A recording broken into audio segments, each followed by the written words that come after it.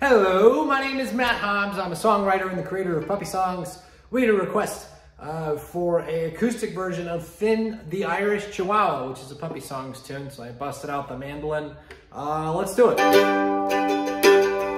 Finnegan O'Brien, the Irish Chihuahua. He lives down in Florida, he's a pup in his prime. He pours a good Guinness, he's barking out sláinte. This pup's always good a time. And his blood runs as green as the hills of Kilkenny.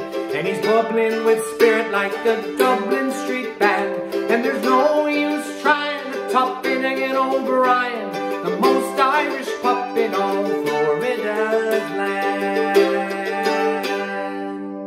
That's Finnegan O'Brien, um, the Irish Chihuahua, which is a featured pup song we did for our friend Finn, uh, who lives in Florida. And from what we know, from the data we've collected, he is the most Irish pup in all of Florida. Um, we released that one this past year uh, for St. Patrick's Day. That was our official St. Patrick's Day song, done in the style of um, Irish traditional music, loosely based on the song Wild Rover. I've been a wild rover for many's the year, and I've spent all my money on whiskey and beer. So you can kind of hear, you know, the, the 6-8 chugging.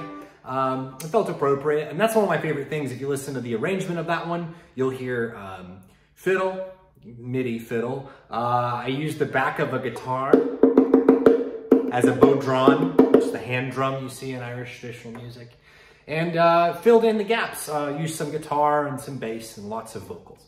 Uh, but that's one of my favorite songs that we've done. Uh, fun to try out that Irish traditional style. Finnegan O'Brien, the Irish Chihuahua. If you want to hear any more uh, puppy songs, acoustic versions or stripped down versions or a little more information behind the song, leave a note in the comments. And we will leave a link to the original song um, that we did, the Puppy Songs video, also in the description. Uh, love y'all. Take care.